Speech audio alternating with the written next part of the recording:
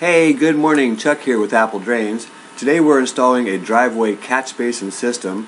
The problem is that water has been pooling in their driveway and it's uphill to the street. So the solution is to add some catch basins to a sump pump and the pump will lift this water up and send it to the street. okay, so we've got a driveway that water has been just pulling across and just sitting in the drive. So it's actually uphill from here to the street.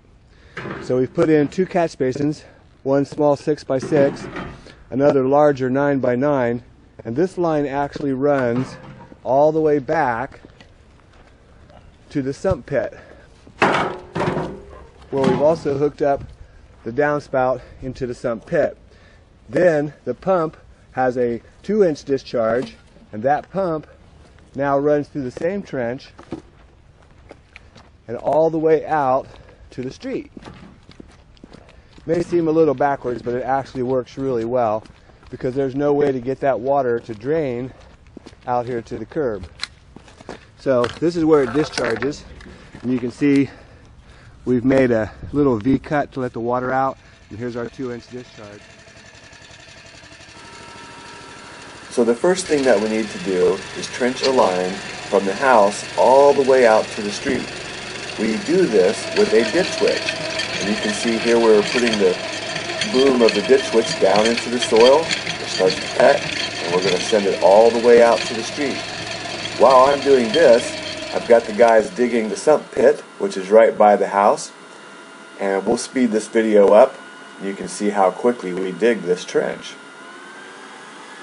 You know, if you're going to do a project yourself, you can definitely hand dig it, but the Ditch Witch is available at most rental stores, about 120 a day, and it will make your life so much easier. It digs a very clean trench, pulverizes the soil, very easy to move around and push it back into the trench when you backfill. Remember, the reason that we're doing this for this customer is because right there where you see that white pipe, that's where this water just sits in his driveway and basically his driveway is going to break and crack. They can't even step out of their car when it rains. So we've got to discharge this water back to the house because it's uphill from where I'm at to the street. So let's go ahead and set this sump pit. We've already perforated the pit by drilling holes all around the bottom and the sides. Now we're cutting off this nipple, and this nipple will be the inlet for that downspout drain right there.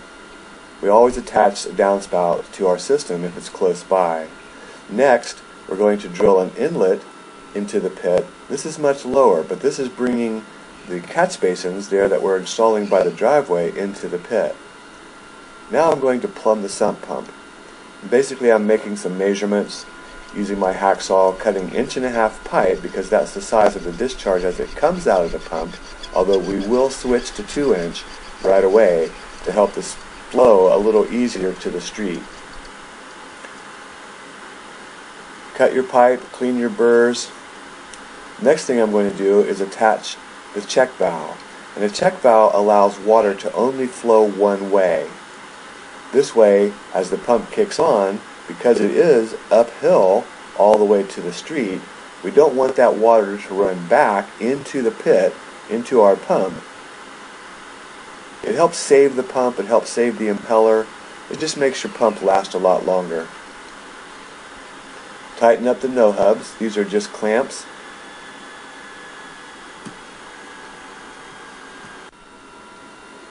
Next I'm going to cut a small riser coming from the check valve where we'll put a 90 and it will come out through the middle of the pit.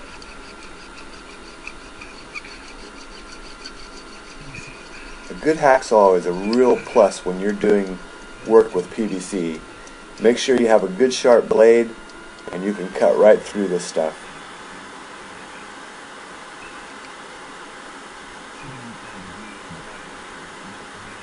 Now I'm going to dry fit all of these connections into the sump pit.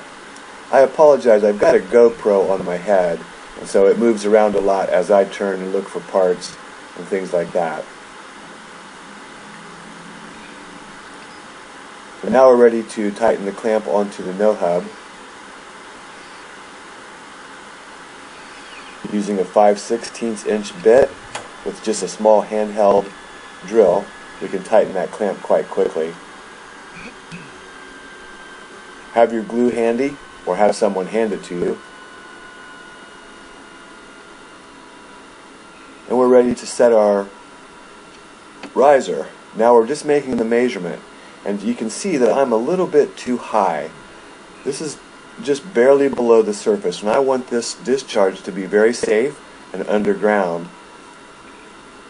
You see my thumb there, it's just too high on the side of the pit. Even though that would be underground, let's go ahead and make it a little bit deeper. So again, I've only dry fitted things and I can easily pull them apart.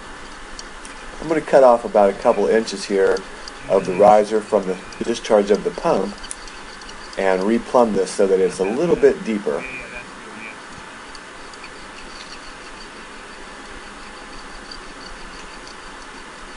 Working in PVC is actually pretty easy. So as long as you cut things longer, it's pretty easy to make an adjustment. If you cut things short, then you have a problem. Now that's much better. Now I'm going to take a 2 inch hole saw and drill a hole for the discharge in the side of the pit. I'm basically right above the inlet line now. So this is much deeper and will be much more secure and safe. Even though PVC is quite strong, we just don't want someone to take a shovel and break this pipe. So drill a hole for your discharge of the sump pump and double check it. Just slide your piece of PVC through make sure that it's ready to be secured and glued.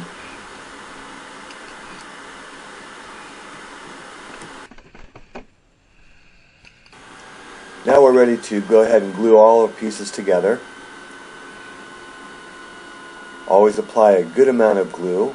We're going to slide this on down into the bottom, tie it together into the pump, twist and turn, push and hold. Next comes the 90. Good amount of glue. Push and hold.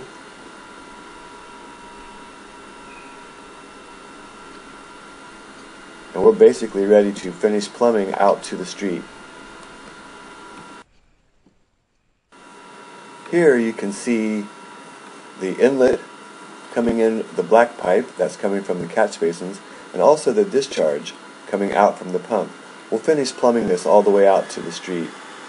Now we have a nice clean trench. We're ready to install our catch basins. But we need to do one more thing, and that's out here at the curb. Okay, so using our concrete saw, we've made a couple little cuts here where we're just going to chisel this out with the pry bar, and that two inch pipe from the pump is going to come up right out to this discharge and come into the curb.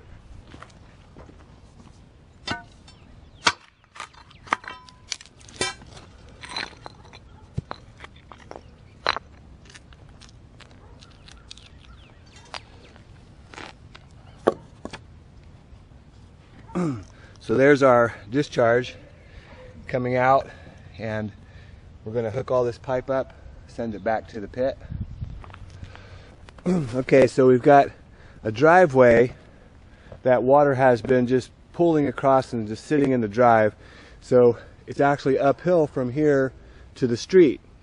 So we've put in two catch basins, one small 6 by 6 another larger 9 by 9 and this line actually runs all the way back to the sump pit where we've also hooked up the downspout into the sump pit. Then the pump has a 2 inch discharge and that pump now runs through the same trench and all the way out to the street. May seem a little backwards, but it actually works really well because there's no way to get that water to drain out here to the curb. So this is where it discharges. And you can see we've made a little V cut to let the water out. And here's our two inch discharge. Hey, this is Chuck with Apple Drains, reminding you that if you believe you can do something, I guarantee you can do it. Have a great day.